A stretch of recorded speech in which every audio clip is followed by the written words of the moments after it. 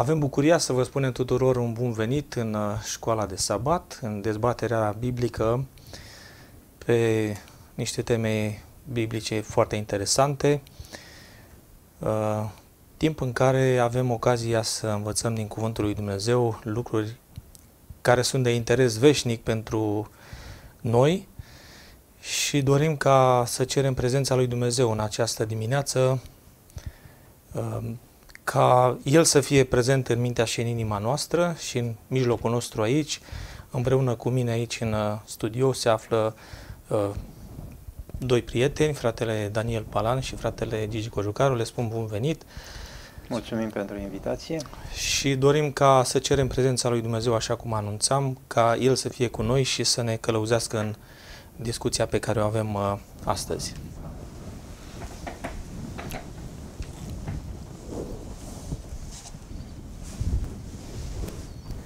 Iubitule Tată, în numele Domnului Isus, ne plecăm înaintea Ta și cu această ocazie să-ți aducem laudă și mulțumire pentru că bunătatea Ta este atât de mare, pentru că ne-ai învrednicit ca să putem să facem parte din familia Cerului, de aceea ajută-ne ca să putem să purtăm cu cinste acest nume și acest privilegiu pe care îl oferi.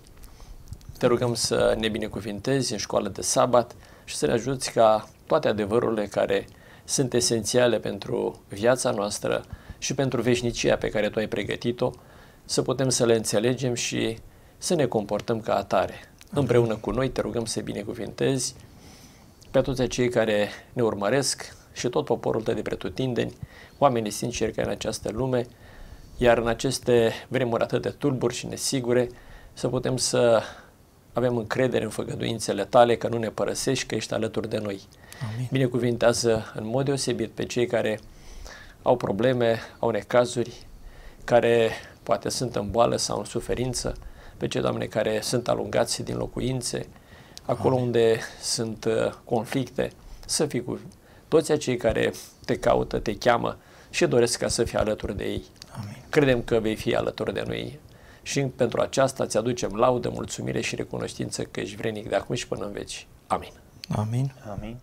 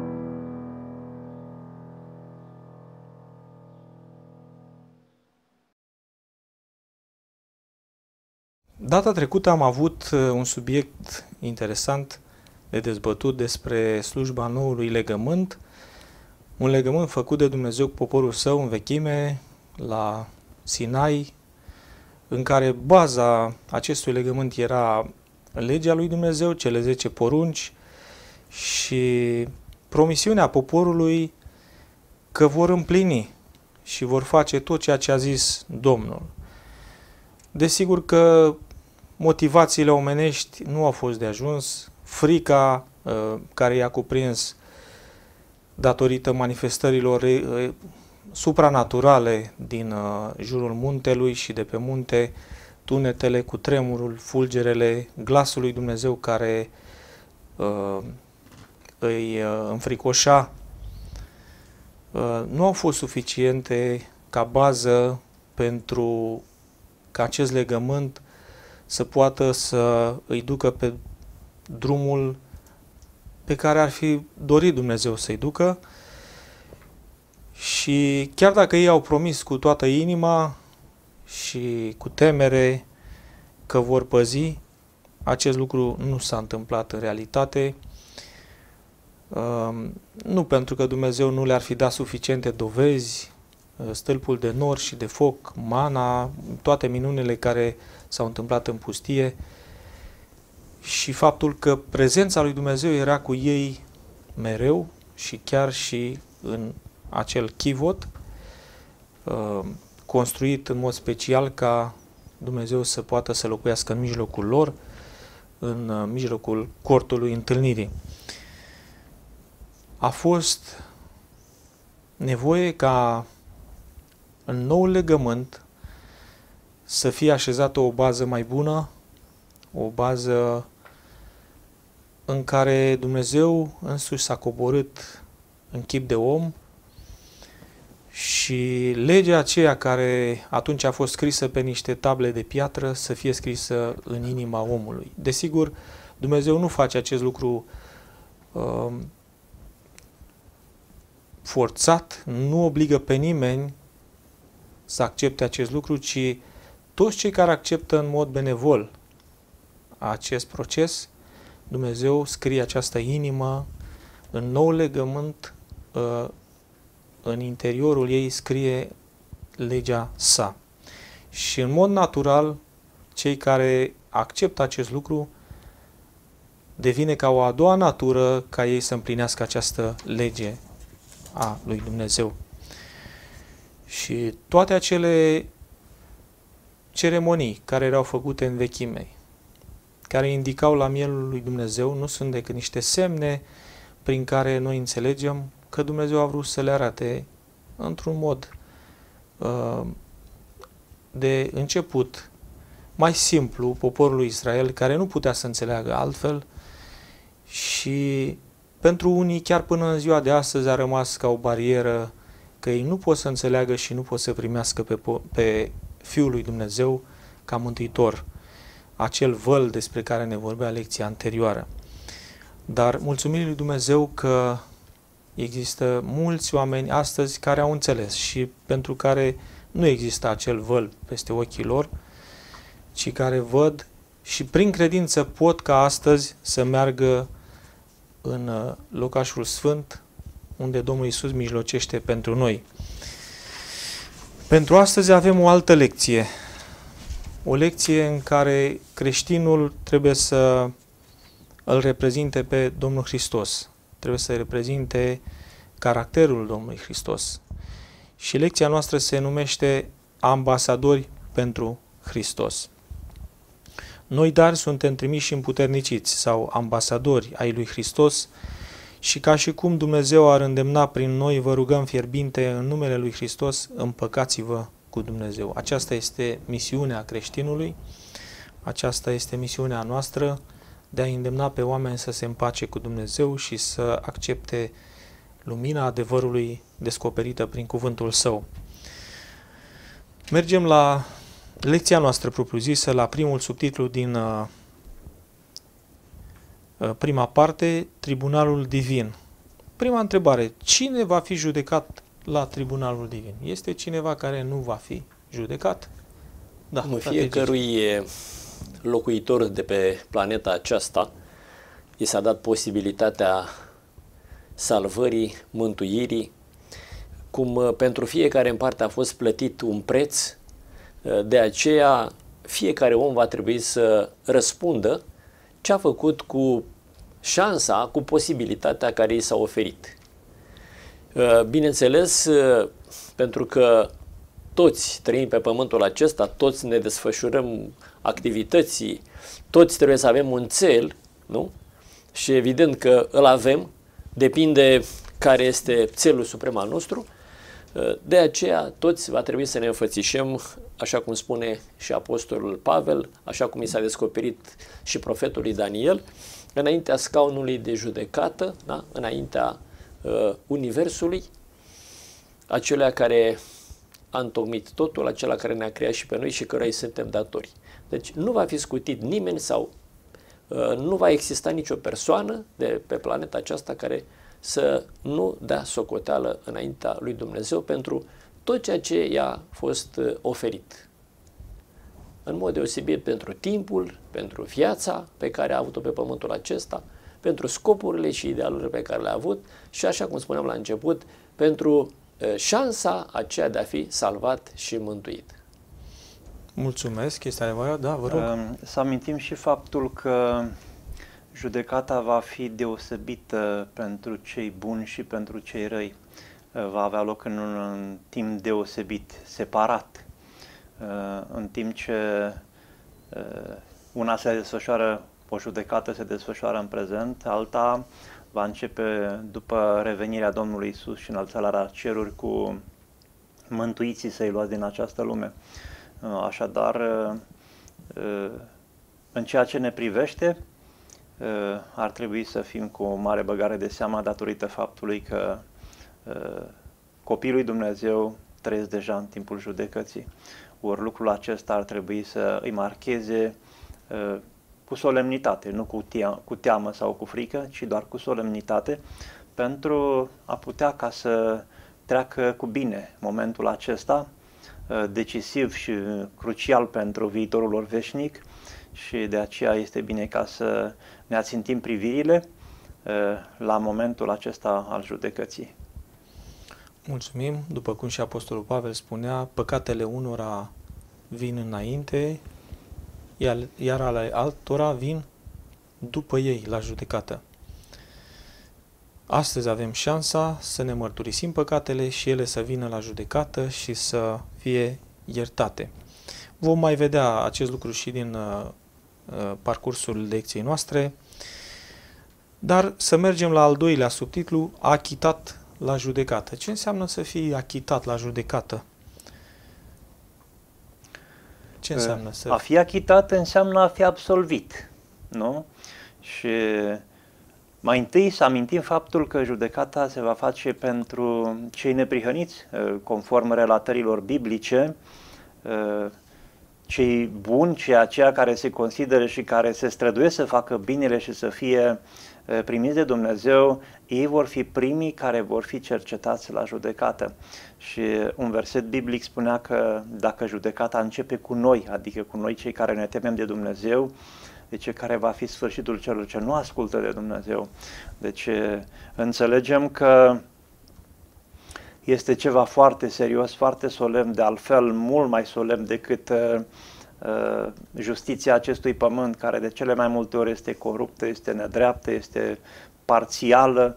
Uh, judecata lui Dumnezeu în comparație cu acestea va fi una dreaptă, hotărâtă, care va fi bazată pe prerogativele divine, care sunt dreptatea și mila, și în felul acesta fiecare om va fi supus și examinat uh, într-un mod amănunțit, uh, iar la urmă va fi pronunțată o sentință pentru totdeauna, uh, fie favorabilă sau nefavorabilă în raport cu viața respectivei persoane. Adevărat. O altă întrebare, cum putem să fim noi achitați la judecată? De ce avem nevoie? Sau ce șansă avem?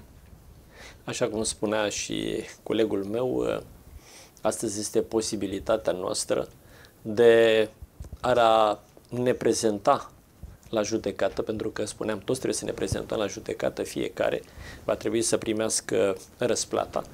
Uh, putem să apelăm la un avocat care este Domnul nostru Isus Hristos, care el poate să fie avocatul tuturor, pentru că învățam în școala de sabat, uh, prin faptul că ne-a iubit, a venit pe pământul acesta și a plătit un preț enorm.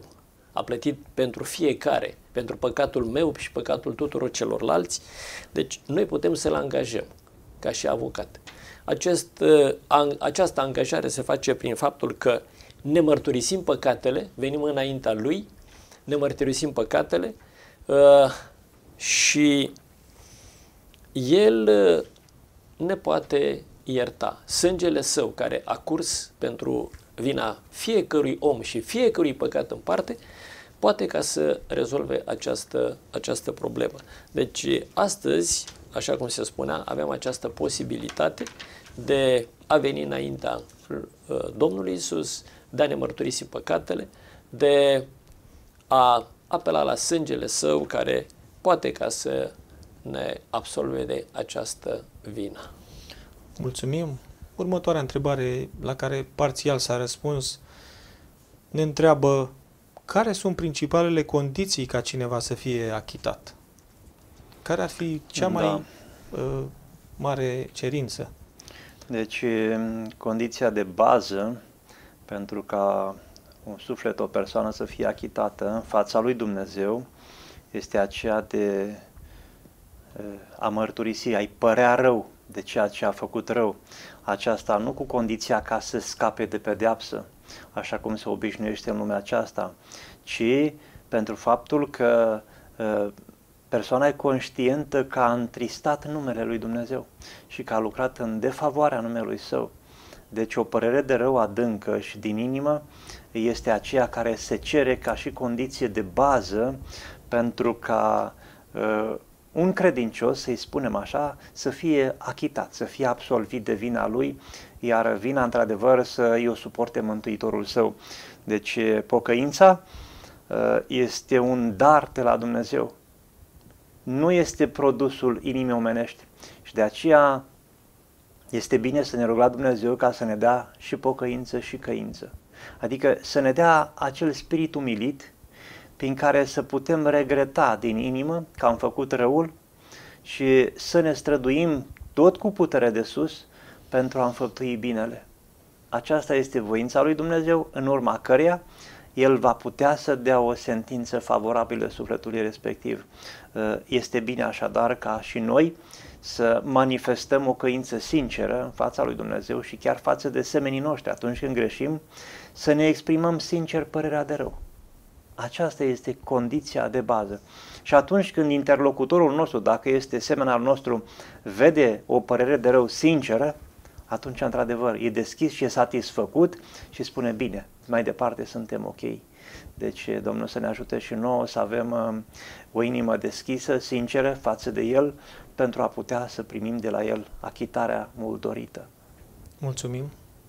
Da, o idee foarte frumoasă care vreau să o subliniez de la avocatul nostru, de la Domnul Hristos, zice, vine și harul întristării pentru păcat, părerea de rău, nu? Cum se spunea despre pocăință, da? Că prin păcatul acesta tu ai supărat pe cineva, fie pe semenul tău, fie pe Dumnezeu, care este creatorul tău, da? Îți pare rău pentru ceea ce ai făcut. Și numai atunci când vii la Domnul Hristos, când privești necontenit prețul care, a... prețul care a fost plătit, doar atunci poți să realizezi nu, uh, vina sau gravitatea faptei pe care ai făcut-o. Uh, poate nu e faptă, poate este un gând. Nu?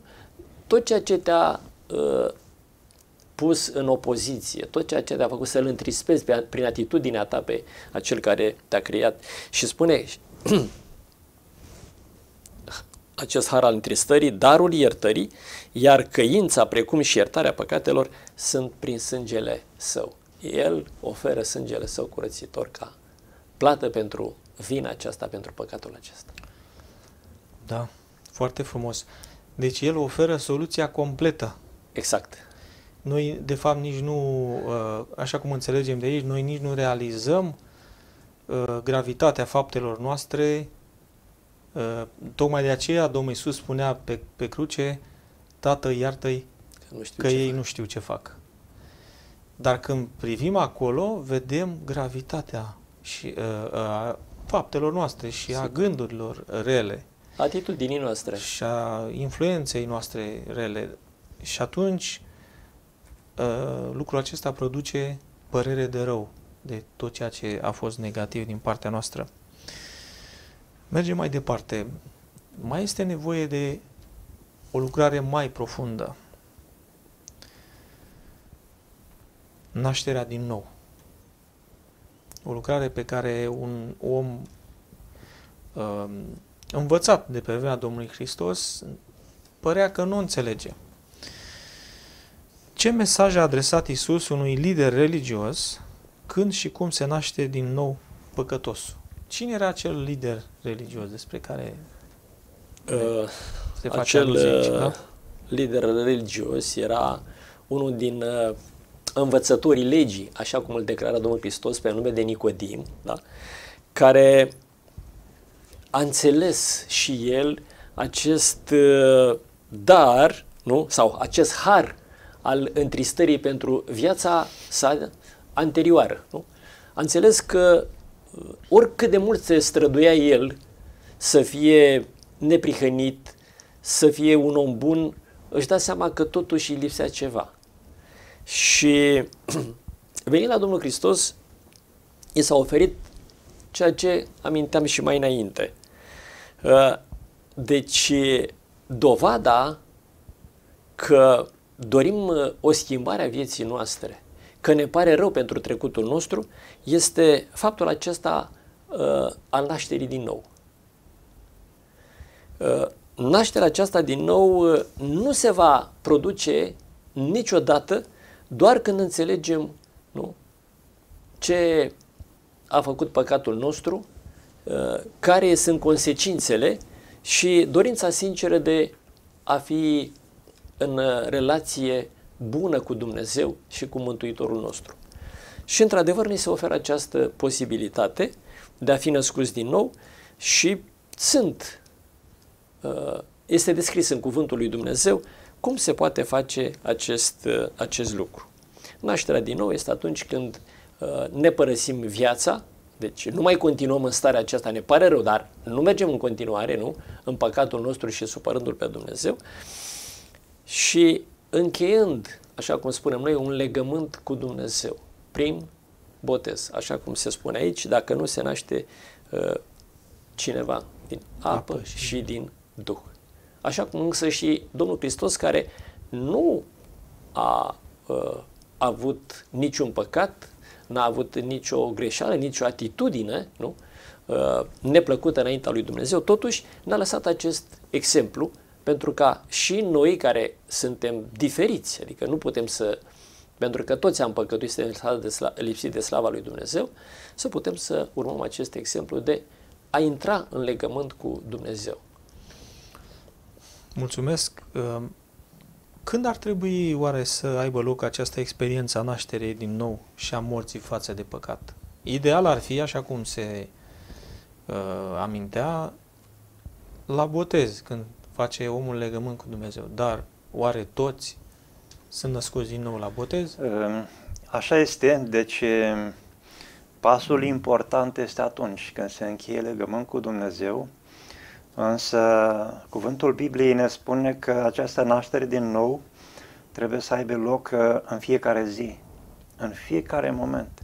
Eh, Pavel Apostolul spunea, zice, eu mor zilnic, mor față de firea pământească, față de viața de păcat, în fiecare zi, pentru că în fiecare zi avem lupte de dus împotriva răului.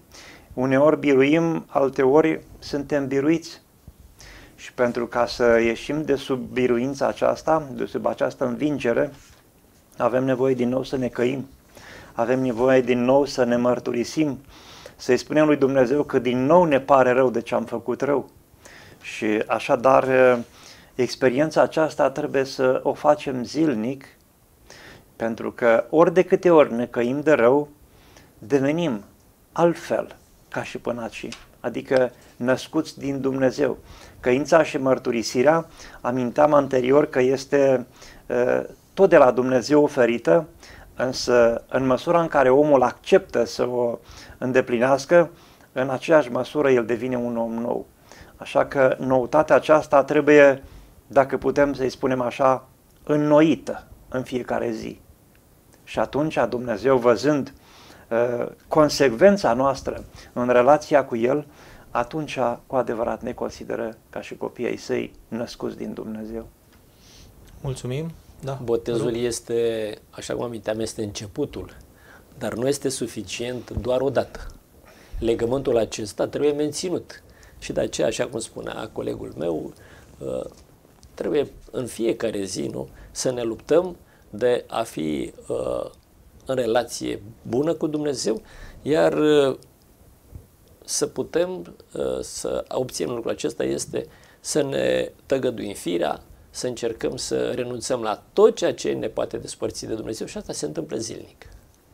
Mulțumim. Deci să înțelegem că uh, nașterea din nou este un proces care poate să fie de durată și pentru unii poate să țină toată viața. E, cumva este uh, destul de straniu să, să spune că un om se naște din nou o viață întreagă. Dar este puțin diferită de nașterea obișnuită, nu? în care durează câteva ore, pentru unii mai puțin, da. uh, nu? când venim pe lume, dar nașterea acesta, aceasta din nou este un proces, să zicem, mai dureros și mai anevoios, care poate să dureze toată viața. La fel cum spune, pocăința este uh, de o viață întreagă. O lucrare zilnică. O lucrare zilnică, o lucrare de o viață întreagă în care euul este răstignit și Domnul Hristos este pus pe tronul inimii. Și într-un final vom ajunge ca El. Ce se întâmplă când o persoană este născută din nou? Cum devine această persoană? Da, exact. Uh, este foarte frumoasă această comparație a nașterii din nou, nu? Uh, o persoană când se naște, nu înseamnă că de atunci el a apărut, el a, a avut ceva mai o înainte, da, mai o înainte. existență mai înainte. Numai că a trăit într-un alt mediu, acum trăiește într-un alt mediu, da? Uh, la fel se întâmplă și cu această naștere din nou am trăit în fel, într-un fel, nu? Așa cum spune și Apostolul Pavel, în, în felul lumii, în felul majorității, departe de Dumnezeu, preocupați de mine și de plăcerile mele, da? Și acum trăiesc pentru că îmi doresc lucrul acesta și pentru că am încheiat un legământ cu Dumnezeu, mă străduiesc să trăiesc altfel. Și spune aici cuvântul că această lucrare uh, a nașterii din nou, care, așa cum aminteai și tu foarte frumos, nu este doar o dată, ci asta este nu? În permanență zi de zi, este acea lucrare frumoasă pe care vrea să o facă Domnul Hristos de a restaura în fiecare dintre noi starea inițială pe care a avut-o la început când omul a fost creat, când Adam nu? a fost creat, a ieșit din, din mâna lui Dumnezeu. De aceea eu zic că este un lucru uh, deosebit să nu mai trăim pentru noi, să nu mai trăim uh, în plăcerile noastre, ci să trăim așa cum însăși Domnul Hristos ne-a dat această, această pildă. Așa cum spuneai și tu, a venit pe pământul acesta, a trăit ca om și ne-a arătat un exemplu ca și noi să, să trăim la fel ca el. Da, vă rog, uh, mulțumesc. Să mai adăugăm faptul că viața unei persoane născute din nou este o viață nici modificată, nici îmbunătățită, ci este o viață transformată. O viață transformată după chipul lui Dumnezeu, cu ajutorul lui Dumnezeu și cu puterea lui. De partea omului este doar voința. Deci să nu uităm, Uh, un suflet născut din nou nu este un suflet modificat sau îmbunătățit în viața lui. Este un suflet transformat. Transformat după chipul lui Dumnezeu. Până aceea avea chipul firesc al celui rău, iar atunci când intervine această naștere din nou, uh, persoana ia chipul lui Dumnezeu. Ori lucrul acesta este minunat. Transformarea aceasta este tainică, pentru că sensul este dinăuntru în afară și lucrul acesta este tainic. Nu poți să auzi, nu poți să simți, doar vezi schimbarea. Cum? Dumnezeu știe. Numai că dacă vrem să fim schimbați în oameni noi, atunci trebuie să rugăm pe Dumnezeu să îndeplinească acest proces de transformare în sufletele noastre pentru a putea să ne asemănăm Lui în toate aspectele. Mulțumim și în primul, și în primul rând schimbarea este în caracterul nostru, apoi ea se va vedea desigur și în afară și înfățișarea noastră se schimbă, dar, cum spunea Apostolul Pavel, chiar dacă omul nostru de afară se trece, omul nostru dinăuntru se înnoiește din zi în zi. Aceasta, zi. aceasta este nașterea din nou. Este, da, vă rog, foarte frumoasă comparație pe care o face Apostolul uh, Pavel, nu? Uh, nașterea din nou nu este o cârpeală, nu este a pune un petec, a face ceva, nu? Ci este o transformare, o schimbare, un om nou, nu? De asta zice naștere din nou. Uh, spunea foarte frumos și colegul meu, nu? Nu e ceva așa pe aici, pe acolo, când și când, nu? Sporadic. Sporadic ci nașterea din nou, viața cu adevărat trăită împreună cu Domnul Hristos uh, pentru Dumnezeu, am putea zice, este atunci când El face transformarea aceasta radicală în vieții noastre. Născut din nou, dorințe noi, scopuri noi, idealuri noi, nu? totul este nou. Mulțumim. Mergem la următorul subtitlu, Slujitorii ai împăcării. Și prima parte din acest subtitlu ne întreabă despre cum putem fi noi împăcați cu Dumnezeu. Care este, să zicem, principalul factor în această împăcare a noastră cu Dumnezeu? Da. Frate Daniel. Uh, principalul factor al împăcării cu Dumnezeu este meritele Domnului Hristos. Deci sângele său este acela care vorbește în favoarea noastră a păcătosului, mai mult decât orice altceva. Dacă Domnul Isus nu ne-ar fi iubit și nu ar fi venit în lumea aceasta ca să moară în locul nostru și să ne ofere nouă o șansă de salvare, atunci noi eram condamnați pentru vecie, la moarte veșnică.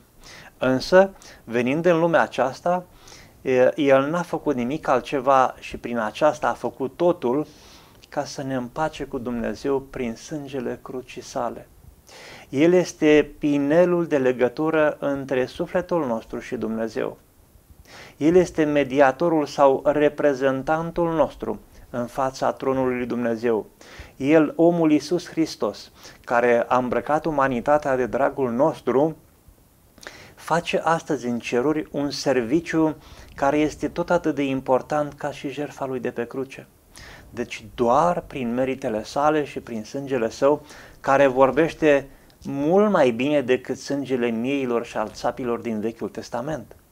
Așadar, ori de câte ori vrem să fim îndreptățiți, să apelăm la meritele Domnului Hristos, să ne căim ca să putem ca aceste merite ale sale să se pună în dreptul nostru și Domnul Hristos să poată să spună despre noi, Tată, uite acest păcătos se căiește de rău, în numele meu te rog să-l primești ca fiind curat.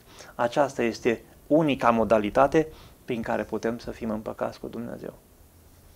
Adevărat, da? Și împăcarea aceasta, ca să fie trainică, să fie durabilă, pentru că s-ar putea astăzi să fiu iertat. Astăzi cineva să pledeze pentru ca cazul meu și cumva să zic să fiu achitat, Dumnezeu să mă ierte. Dar vine ziua de mâine, vine ziua de poi mâine, următoarele zi din viața noastră, da?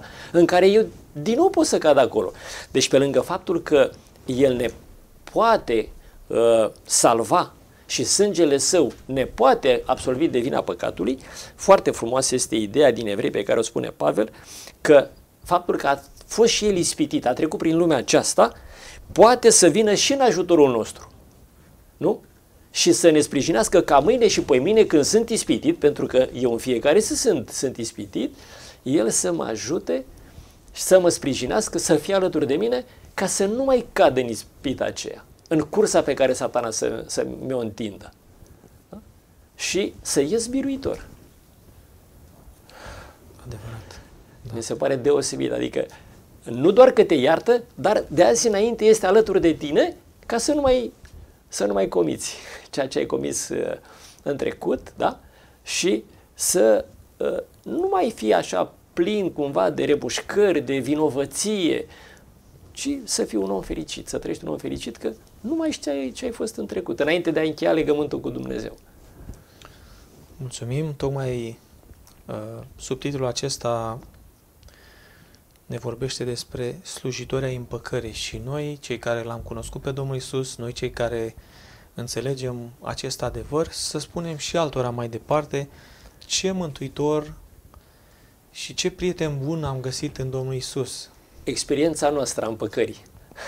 Cum am trecut de la uh, omul acela care stătea departe de Dumnezeu, care nu înțelegea, la a fi prieten cu Domnul Isus și cum uh, el la un moment dat vorbea despre Avram ca fiind prietenul său, vorbea despre David, om de, uh, după inima mea, uh, cum se lăuda cu Iov și cum a făcut ca Enoch să fie luat la cer pentru că atât de mult se asemăna uh, viața lui cu uh, a ființelor care locuiau în cer, încât a fost luat la cer, să poată să aibă aceeași, același uh, uh, discurs și despre noi, să spună, uite, pe nume, pe fiecare să ne numească și să uh, vadă că am înțeles și că am acceptat această schimbare în viața noastră, această transformare despre care se vorbea. Mergem mai departe la punctul B, fiind născuți din nou și împăcați cu Dumnezeu. Ce devenim? Mai departe. Uh, devenim uh, ambasadori, așa cum este și titlul. Da? Uh, oamenii nu, care merg și reprezintă această modalitate pe care Dumnezeu a ales-o de a împăca pe oameni cu El prin Domnul Hristos. Și ne-a încredințat, de fapt, nu? Pentru că un diplomat, un ambasador, da, merge să reprezinte statul din care face parte. La fel și noi, nu? Devenind ambasadori, oamenii care am fost schimbați, am fost născuți din nou, așa cum suntem uh, cei care trăim aproape de Dumnezeu sau cunoscând, cunoscându-L pe Dumnezeu, ne-a fost încredințată această misiune, această slujbă, cum se zice aici, a împăcării, să o spunem și altora. Să uh, cunoască și alții dragostea, bunătatea lui Dumnezeu, să vadă de fapt care este scopul lui Dumnezeu cu fiecare individ în parte. Și faptul acesta uh, nu este chiar atât de simplu. Adică să nu privești pe altul care încă mai este împăcat, să-l privești cumva așa cu dispreț, să întinzi o mână de ajutor, să te pleci ca și să te apropii ca să vorbești fiecăruia uh, despre riscurile pe care le are această depărtare de Dumnezeu, despre șansa aceea fericită de a fi salvat și împăcat cu Dumnezeu. Toate acestea ne-au fost uh, încredințate nouă. Este o misiune, zic eu, destul de importantă, nu este așa de ușoară, dar uh, este uh, garanția fie, dată fiecărui om care a fost împăcat cu Dumnezeu că poate să o aducă la îndeplinire prin harul care a fost uh, oferit lui. Mulțumim! Da, frate uh, O persoană născută din nou este o persoană care este părtașă de natură divină. Deci nu mai este o persoană ca până aici. Nu mai este firească, nu mai este omenească. A fi părtaș de natură divină înseamnă a avea simțămintele lui Dumnezeu. A avea simțul atât de ascuțit încât să te ferești de rău sub orice formă și să urmărești și să gândești doar ceea ce este bine și plăcut. Asta înseamnă a fi părtaș de natură divină. O asemenea persoană se pierde din vedere pe ea însăși și nu întreabă dacă cel care are nevoie de ajutorul ei este meritos sau nu, merită să fie ajutat, ci întreabă cum pot să ajut cât mai mult, așa cum a făcut Mântuitorul. Deci Domnul Isus, care este modelul nostru și care a fost uh, în totul divin și în totul uman, nu? ne oferă exemplul, exemplul de viață, uh, o viață care să fie identică cu viața lui Dumnezeu, în sensul că urmărește în permanență bunătatea, urmărește în permanență slujirea, evlavia. Deci aceste calități trebuie să ajungă la uh, nivelul superior maxim, ca să poți să fii o persoană de natură divină, părtaș al naturii divine, trebuie să exersezi aceste calități la maxim. Ori tocmai lucrul acesta l-a făcut Mântuitorul, după care ne-a spus, pildă v-am dat să-mi urmați. Așadar, perspectiva care stă în fața unui suflet născut din nou este una strălucită, plină de divinitate.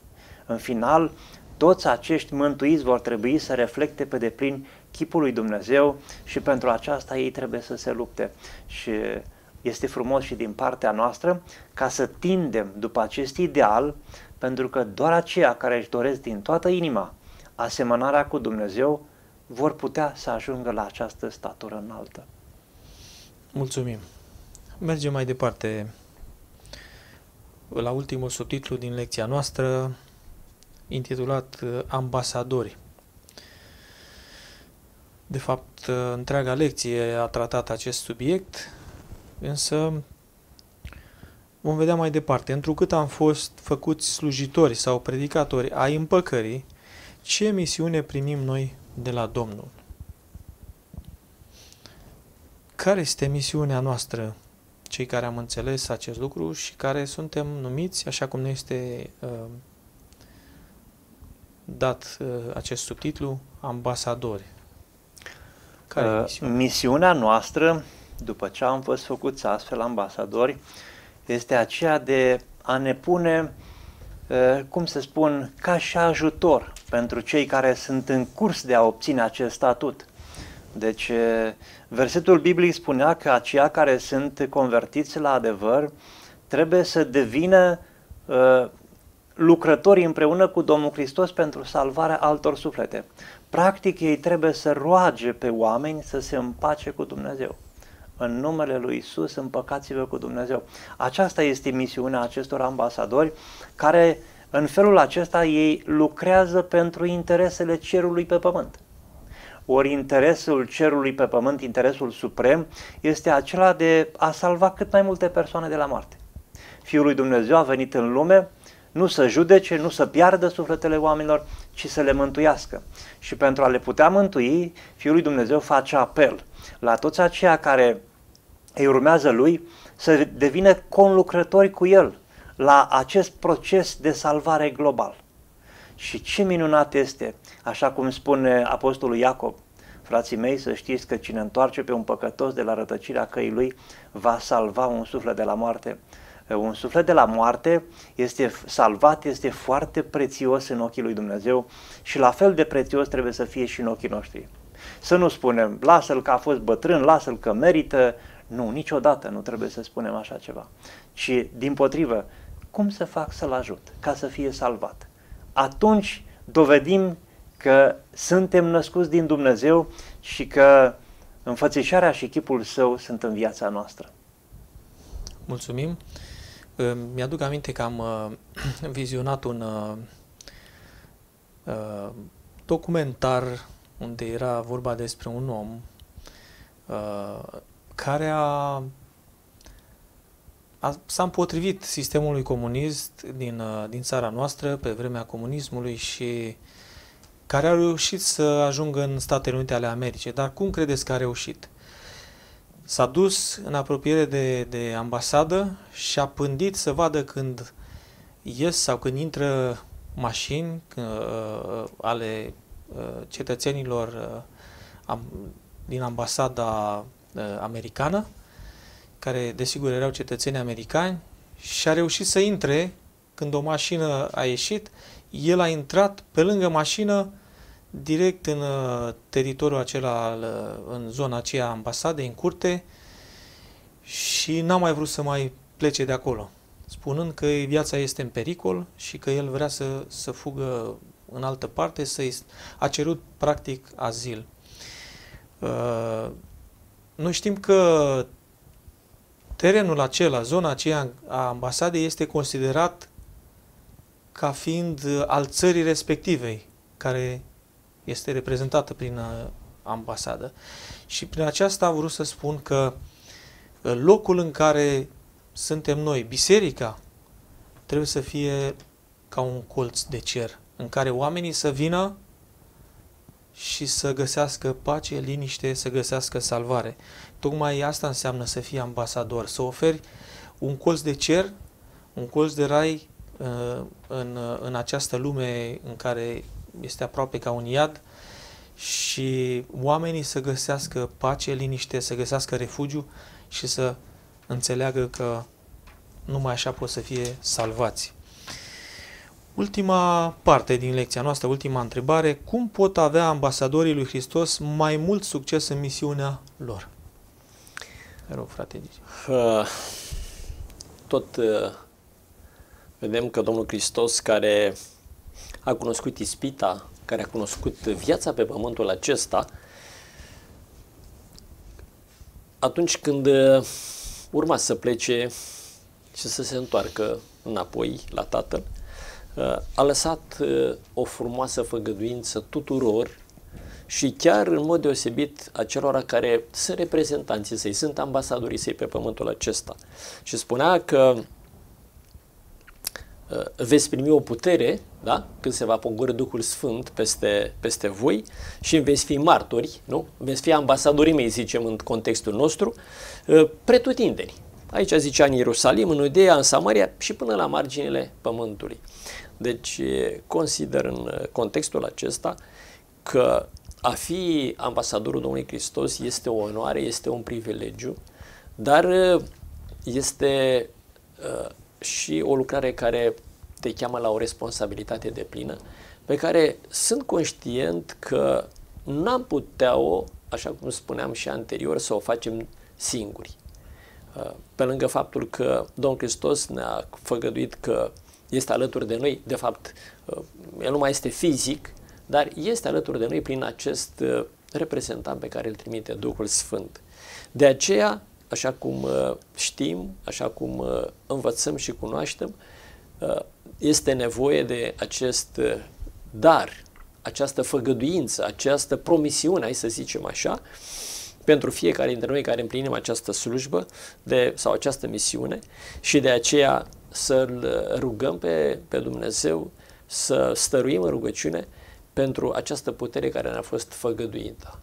Să o dorim, așa cum am făcut-o și e un exemplu deosebit și am trecut prin el, am învățat, uh, exemplul ucenicilor care și ei și-au dat seama pentru că aceeași misiune au aveau și ei și lor le-a fost credințată această misiune dându-se seama că nu, nu sunt pregătiți să o facă, uh, s-au strâns la oaltă, s-au rugat împreună pentru lucrul acesta și nu a întârziat să apară. A venit Duhul Sfânt peste ei, așa cum este relatat în cuvântul lui Dumnezeu, ca niște limbi de foc, pe fiecare în parte. Deci fiecare a primit acest, acest dar, această făgăduință și lucrarea pe care au făcut a fost uh, de o amploare extraordinar de mare. Adică e dincolo de puterea de a înțelege uh, noi lucrul acesta în diferite manifestări. Faptul că puteau să facă minuni, adică să ajute pe ceilalți, nu pentru slava lor, nu pentru să arate ei cine sunt, da, Domnul este ambasador și uite ce pot să fac, nu, ci era pentru binele celor din jur, uh, faptul că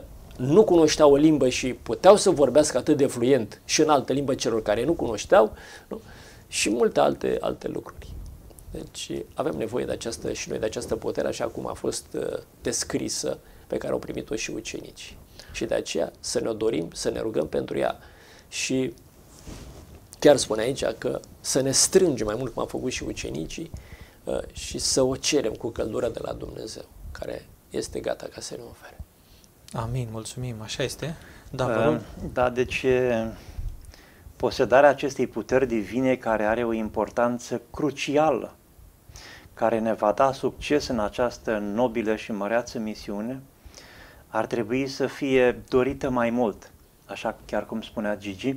Deci Domnul dorește ca noi să ne manifestăm interesul profund pentru a avea această putere, pentru că doar Duhul Sfânt este acela care aduce rezultate uimitoare în sufletul omului, în sufletul acela care îl dorește, care tânjește, care plânge după el. Și uh, undeva un cuvânt inspirat spune că de ce nu ne rugăm mai mult? De ce nu apelăm mai mult la această putere?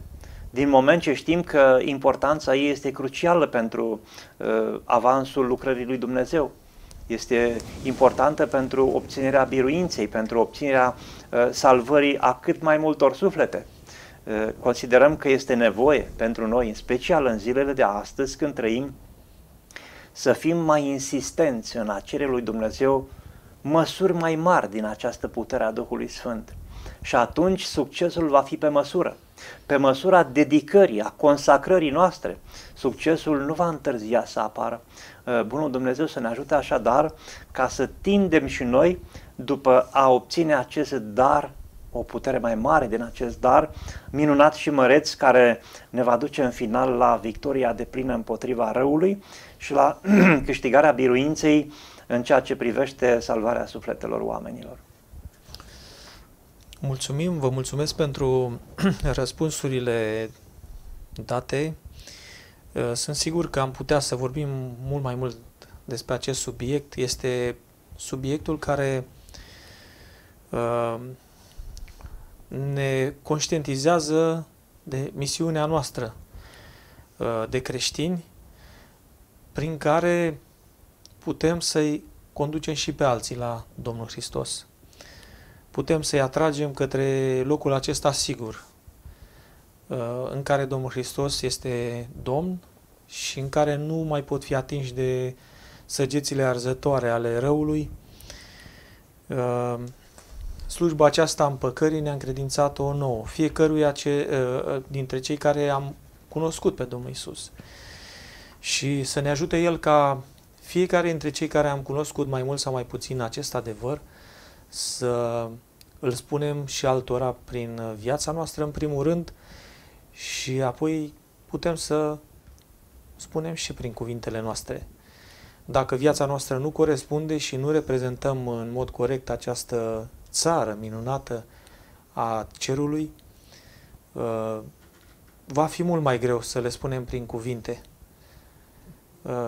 Uh, oricât am încerca, uh, viața noastră trebuie să arate acest lucru și oamenii se vor întreba singuri, oare ei de unde sunt? Nu sunt din, de pe acest pământ. Asemănându-ne cât mai mult cu Domnul Hristos, reprezentându-L pe El în mod corect, vom putea să conducem și pe alții la El și El să ne ajute ca fiecare dintre noi, cei care am cunoscut mai de mult, să zicem, acest adevăr și dintre cei care ne ascultă, să poată să aibă în inima lor această decizie de a-L prezenta pe Domnul Hristos prin viața lor și cu toții să ne putem uh, numi ambasadori ai cerului. El să ne călăuzească și să ne dăruiască pacea și harul său pe mai departe până în veșnicii. Amin. Vom încheia această dezbatere printr-o rugăciune, apoi vom asculta un moment muzical, iar la ora 11 cu toții sunteți invitați, sunteți bineveniți să uh, Uh, ascultăm împreună o prezentare din cuvântul lui Dumnezeu. Domnul să fie cu noi cu toți. Amin. Ne vom pleca pentru Amin. a cere ca binecuvântarea lui Dumnezeu să fie cu noi cu toți.